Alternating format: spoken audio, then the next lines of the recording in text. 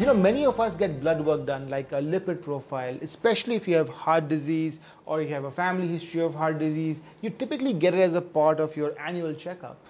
And you know, when you see these reports, you, you look at terms like, you know, LDL, HDL, triglycerides, cholesterol, and I think often we all wonder what do these terms actually mean, and more importantly, how do they actually impact us? You know, so today on Doctors on Call, we'll try and decipher what each of these terms are what these different cholesterols are and how they can affect your brain, your heart, and your overall health.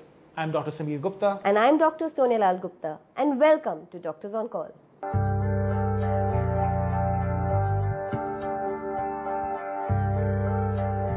Blood lipids are fatty substances such as triglyceride and cholesterol.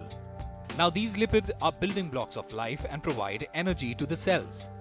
Whenever these levels go abnormally high or low, they can affect our health. There are many types of lipids. LDL cholesterol is a low density lipid which is also commonly known as the bad cholesterol.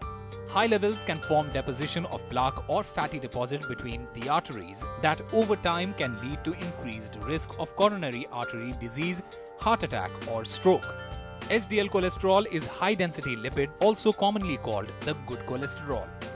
Good levels of HDL helps clear out LDL and thus play an important role in keeping the heart healthy.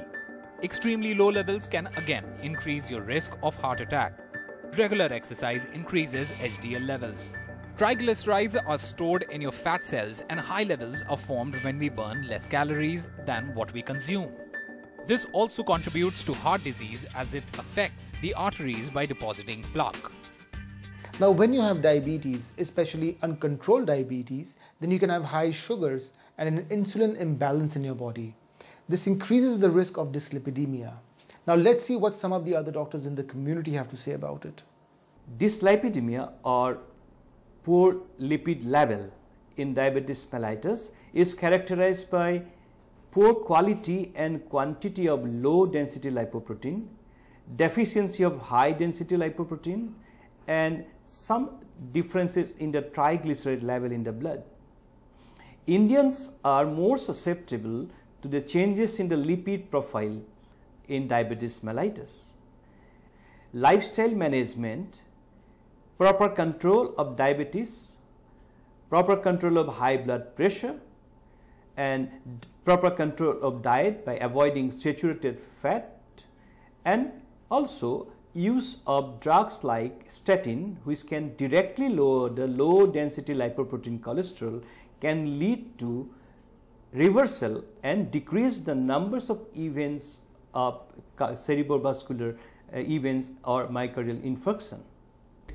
Dyslipidemia rank among the most firmly established and best understood risk factor for development of cardiovascular diseases. Similarly, in a diabetic patient, this dyslipidemia is the major risk factor for future development of both microvascular and macrovascular complications like coronary artery disease, cerebrovascular disease and peripheral vascular disease. There are extensive evidences that support the effectiveness of aggressive management of this dyslipidemia. The first maneuver to achieve the lipid goal in a dyslipidemia patient is the specific exercise and diet recommendations given by the different world authorities. Addition of drug to non-pharmacological measures like rosuvastatin and atorvastatin reduces the cardiovascular risk both in established CAD patient and also in the individuals who have previously not suffered from coronary artery disease events.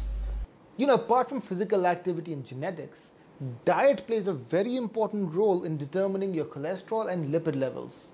And you know, that is why we always say get on to a healthy diet as well as a regular exercise plan.